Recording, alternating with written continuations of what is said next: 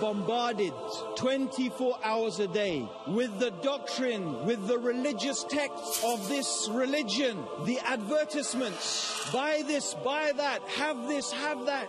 Yet, many of them are depressed and they are committing suicide. 14 year old girl hangs herself. Why? Because it seems her mother wouldn't let her watch TV. This is the curse of the consumer society. It is a curse.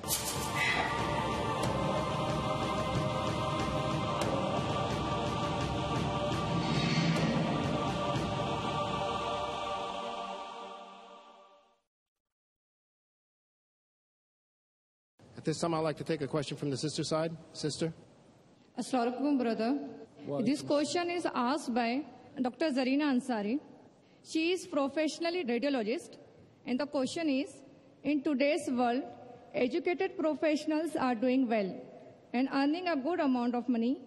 How much of this can we spend on ourselves?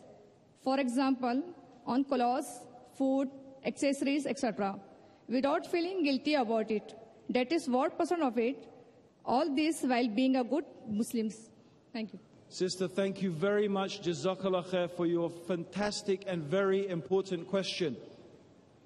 Now, I do want to make something very clear. There is nothing wrong, nothing wrong in Islam with enjoying the bounties and the blessings of Allah as long as you are grateful for them. So, this is the first thing.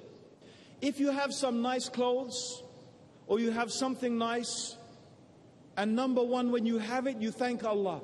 You say, Alhamdulillah. Your heart is filled with happiness and praise for the one who has bestowed this thing on you. That's the first thing.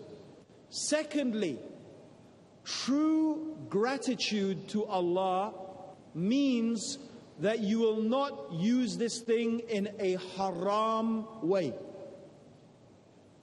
The gratitude of your eyes, to be grateful to Allah for your eyes, is to look at only what is halal and not to look at what is haram.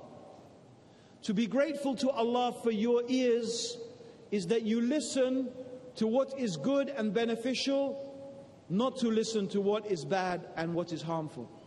The gratitude of this tongue is that you speak what is good and what is right and you enjoin what is right and forbid what is wrong, not that you backbite and slander and lie. If you do that, you are being ungrateful for your tongue. And so on with all of your limbs and all of the things that Allah has provided you with.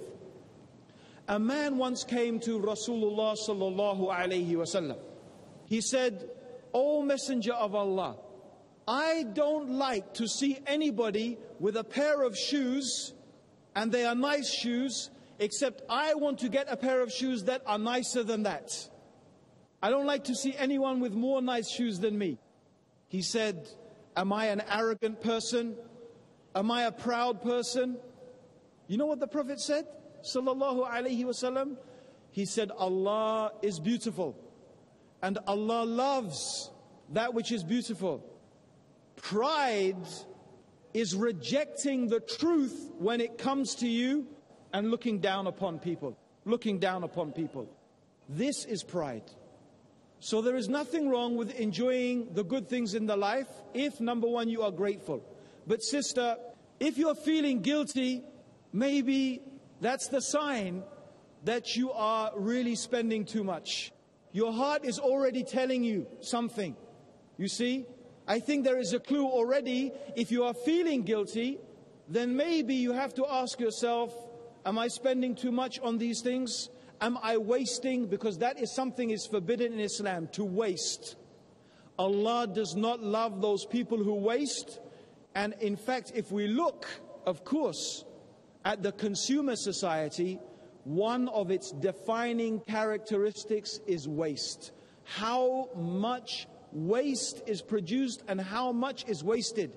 How much stuff is thrown away? We have one mobile phone, we have it for one year, but then the latest model comes out. Mine has a one megapixel camera. But oh my gosh, look, the latest one has a two megapixel camera. My life is not going to be the same unless I have a two megapixel camera.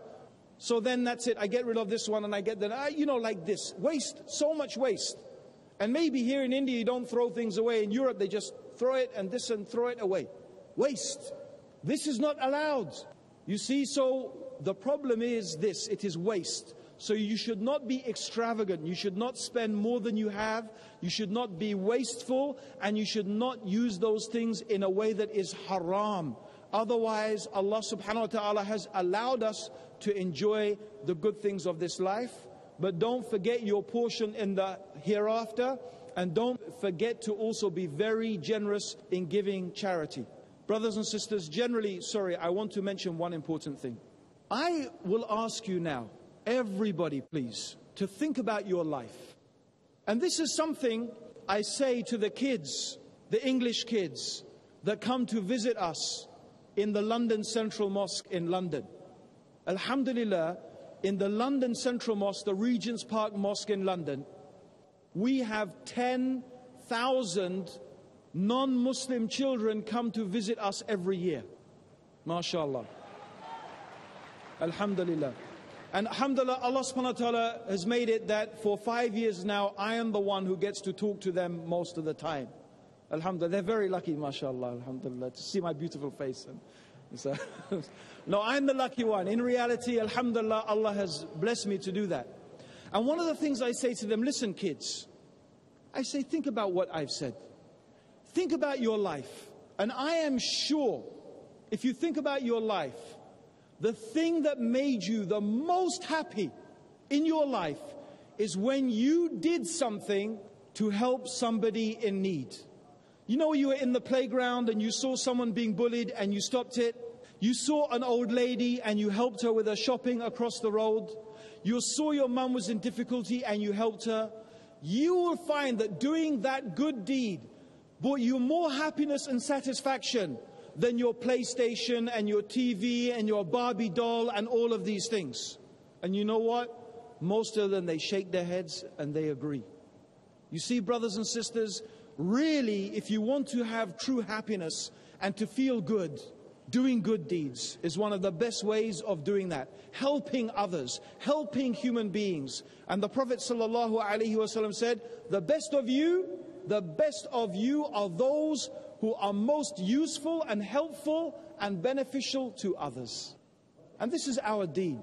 MashaAllah, to be beneficial to all the human beings and to be as helpful and to do as many good deeds as possible. So that is what I would encourage my professional brothers and sisters with.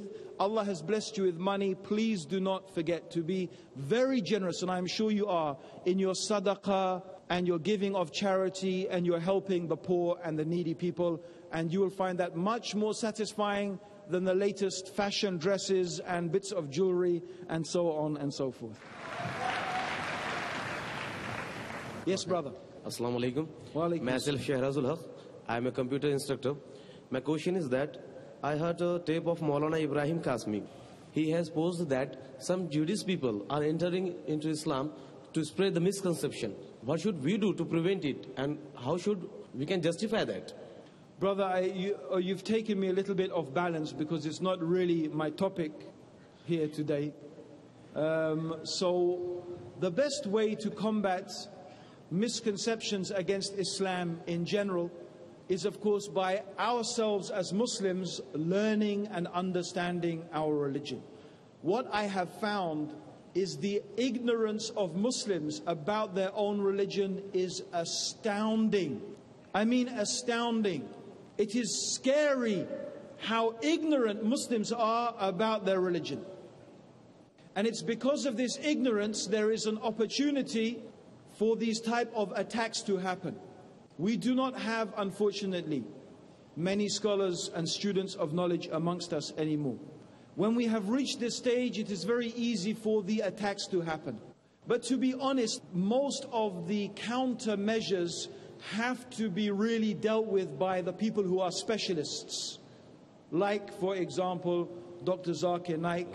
He is a great specialist in dealing with these type of attacks against Islam. And there are different brothers in different fields who are also specialists in different areas. So what you need to do is, inshallah, refer to them and usually that would be more beneficial than, you know, making your own studies from scratch. What you can do, of course, once you learn that stuff, you can contribute and you can increase. For example, I will tell you about my own experience. In the days when, because I mean, it's been mentioned that I go down to Speaker's Corner. I don't want you to all rush to London to Speaker's Corner hoping to see me there because you won't see me there. That's when I was 25 years old. I was young and I was strong. And, you know, I, I don't have the energy for that so much these days. But when I used to go down there, there was a Christian missionary who started throwing all of these ideas about the Quran that I never heard before. That the Quran, he was saying the Quran was written 300 years after the time of the Prophet. And then he started saying, and the proof is this and this. I didn't know what to say. And there was nothing, no one had done any research on this. So I had to do the research myself from the beginning. And it ended in a debate. Alhamdulillah, we dealt with it very well. But the ideas kept on going on. And they produced articles in something like the Atlantic Monthly, which is a very big magazine in North America. But myself, I could not continue with this work. But I set the ground. And mashallah, some brothers, they continued and they added and now their website, it's called Islam Answers. Islam Answers. This website now is even referred to by the academic Orientalists. They even refer to it because they have been so good and so professional and so academic that even the non-Muslim academics, they refer to this website as a good place to see evidences of manuscripts and ancient inscriptions and these things that are refuting these ideas. So I think that's something that if you are interested in that, for example, you know, usually there is a limit to what Dr. Zakir can do personally or what I can do. And we do rely a lot of the time, and people like us, on others to contribute even it may be one small idea, but that small idea may be very important in a debate or a dialogue. So there is so much you can do, or you can yourself explore it. It is up to you. Yeah? Inshallah. Jazakallah khair. Assalamu alaikum. Myself is Sheikh Khizar Hayat, software professional. I want to ask a question. There is capitalism or socialism or communism. So what is the way we should adopt or what you believe is the way we should adopt? And other comment is that likewise as situation here in India, uh, like we can say we have a capitalist uh, theory here. So I see around me like it is generating lot of employments and it is very easy for a common person like me to get employment and to arrange for bread and butter for me. So uh, is this really a curse? Like you told a face of coin and this is another face of coin. So how will you justify this?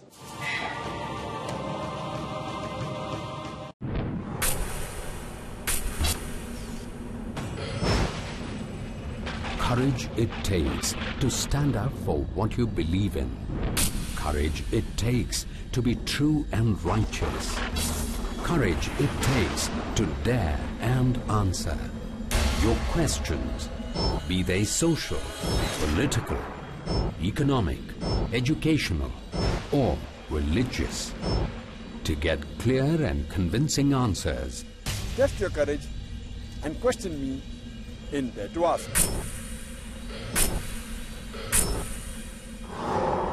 Dare to Ask, next on Peace TV.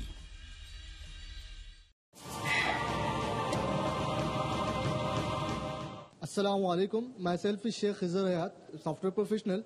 I want to ask a question. There is capitalism or socialism or communism. So what is the way we should adopt or what you believe is the way we should adopt? And other comment is that likewise as situation here in India, uh, like we can say we have a capitalist uh, theory here. So I see around me like it is generating lot of employments and it is very easy for a common person like me to get employment and to arrange for bread and butter for me. So uh, is this really a curse? Like you told a face of coin and this is another face of coin. So how will you justify this? No, I think, brother, let's go back to what I was saying. I am not saying that no one will benefit in material terms from the consumer society. Of course, some people will benefit in material terms. And if you are a Muslim and you are following your religion, Alhamdulillah, and you are worshipping Allah and you are doing your work in order to help you to earn money, to feed your family, to give charity, to give zakah, to make hajj, to make ibadah, to learn the religion, then you will get so much benefit from this personally. But my talk was about the ideology. You see, the ideology of the materialist society is leave religion. You don't need religion. Religion is not going to make you happy in life. What will make you happy in life? You think growing that beard is going to make you happy? Shave your beard. You'll get even more money. And why you, you know, why didn't you go out and have some fun and go to the disco and drink some alcohol and dance with the girls and watch the movies? Yes? Are you really, you following my brother, the consume, the, the materialist society? I don't think so. No. No, you're not, are you? No, no. Okay, well, good. Alhamdulillah. okay, but the point is, my, my discussion is about the philosophy, the ideology. Yes? Of course, some people can benefit from it. Yeah? As for your first question, from all of my studies, the more, subhanAllah, I have studied the capitalism and the communism and the socialism, actually, in some ways, of all the Western philosophies, a type of mixed economy that is partly capitalist and partly socialist seems to be the best solution. However, the more I have studied it, and I am not an expert in economics, it is only recently that I have begun to realize how important the study of economics is. Very important. I was studying recently some books about what is going on in the world today. I began to realize, subhanAllah, it, it only makes you understand how Islam and the economic system and the social system that is given by God is really the perfect system. It is really the perfect balance between all the extremes in the human society.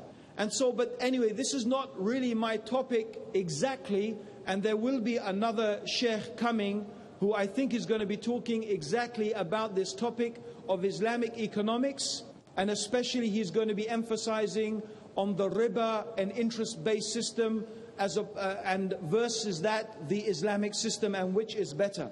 So I think that will be a very interesting lecture. It's not my speciality, so that's his speciality, and I think will be very interesting to come and listen to that, inshallah ta'ala. So jazakallah khair for your very nice question. Thank you very much, brother.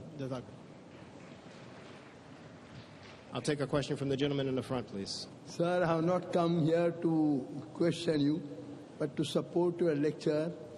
And I want to tell all the public that if they follow your lecture, they will be more happy. Your happiness is a product of mind. It is not a product of what main purpose was. Once I was thinking, why the Fabi'ayyu alahi rabbikum has come 30, 20 times in Surah Rahman. Allah says, I give you the bounties and why you refuse? So my question is, your main question people misunderstood, that what is the most important if you don't get for five minutes you will die? A, it costs nothing. Second, water, if you don't get for nine days you will die. So Allah says the most important thing required to live life is not money, the things which are required I have given you to love. The same thing what I wanted to tell the public, that wealth is important. But wealth must be used for, because Hazrat Khadija was the richest woman of Arabia.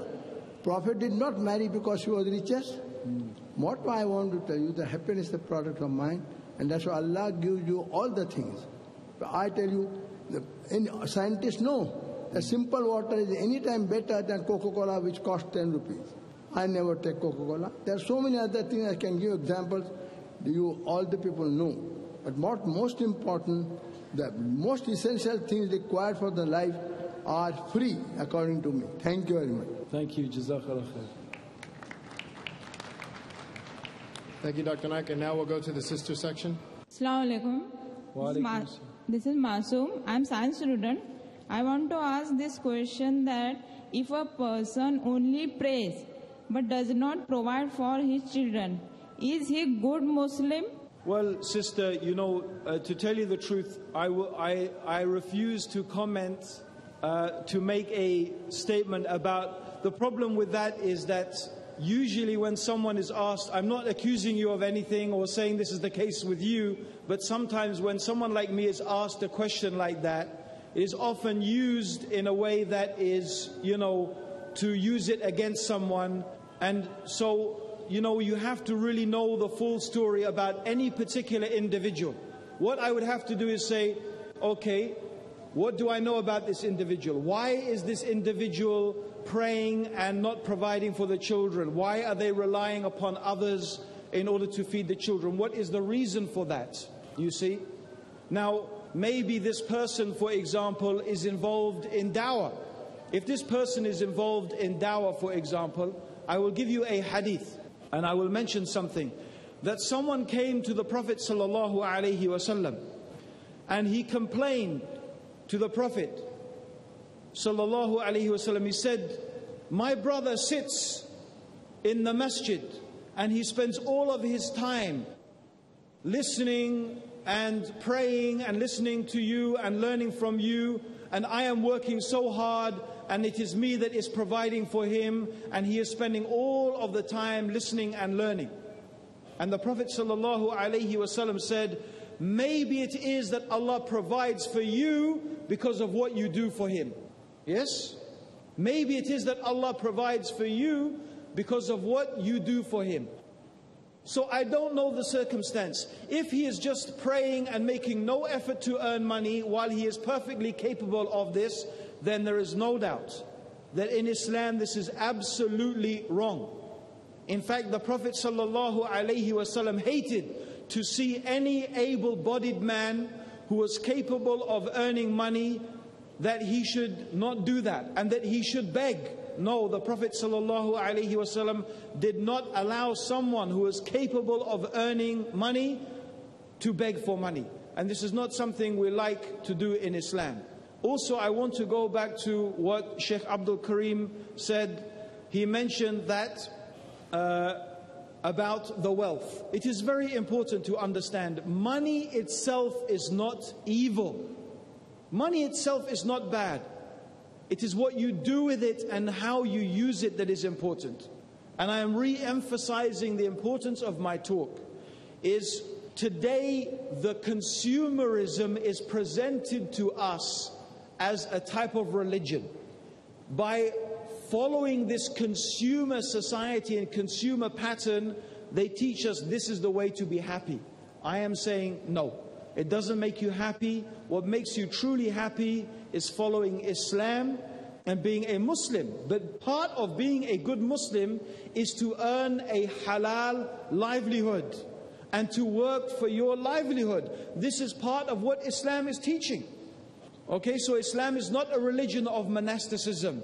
Islam is not a religion that says we go and we sit in a monastery or we sit in a certain place and that's it. And we just worship and we don't live in the world. No, that is not the teaching of Islam. In the religion of Islam, we worship Allah, we follow the Quran, we follow the teachings of Islam, and we live in this world and we work in this world. Alhamdulillah. Jazakallah brothers and sisters. Thank you very much. It's been a real pleasure talking to you today. Assalamu alaikum rahmatullahi wa barakatuh.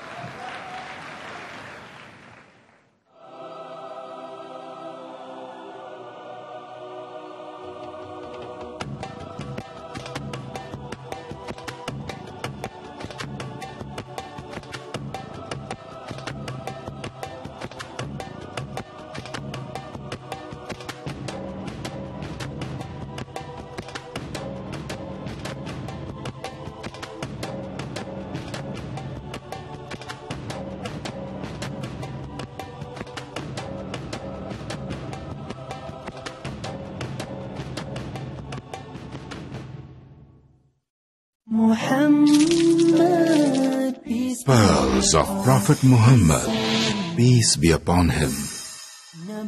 It is narrated on the authority of Abu Zar, may Allah be pleased with him, that the Messenger of Allah, may peace be upon him, said, Three are the persons with whom Allah would neither speak on the day of resurrection, nor would look at them, nor would absolve them, and there is a painful chastisement for them. The Messenger of Allah, may peace be upon him, repeated it three times. Abu Zar, may Allah be pleased with him, remarked, They failed and they lost.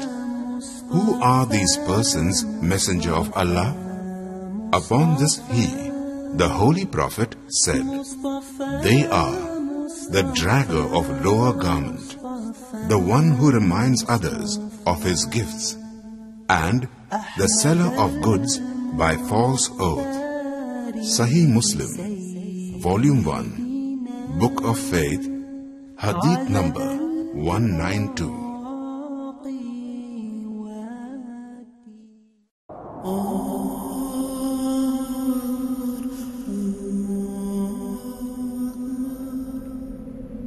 The value of money in the hereafter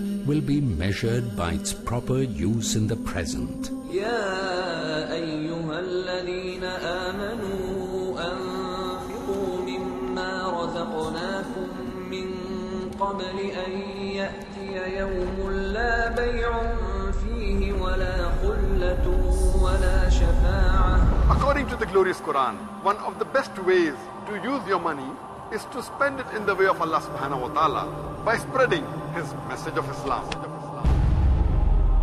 Peace TV is a non-profit Islamic satellite television channel that is primarily dedicated for just that cause, the proper presentation of Islam.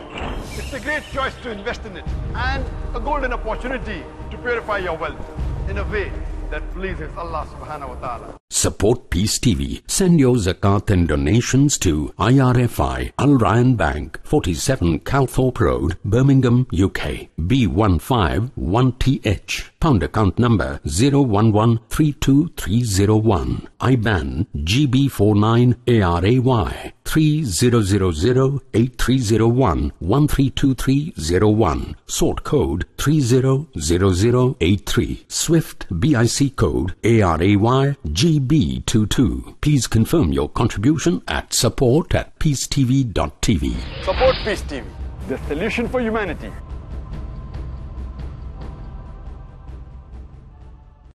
Thursdays provide. In Britain, we are facing one big problem that are you Muslim or British? The space to talk. In India, back home, they ask, are you a Muslim first or Indian first? And we Muslims should know how to reply, how to turn the tables over. The place to knock. Why Trinity cannot be regarded in that sense? Father, Son, and Holy Spirit. The opportunity to ask. But even if we agree that what the Christians say, that he was crucified, so if Jesus Christ, peace be upon him, died for three days, who controlled the world? That means even God died? The freedom to unmask. So there are various ways which we can prove the argument to be wrong. Let's meet Dr. Zakir tomorrow at 6:30 p.m. and repeat telecast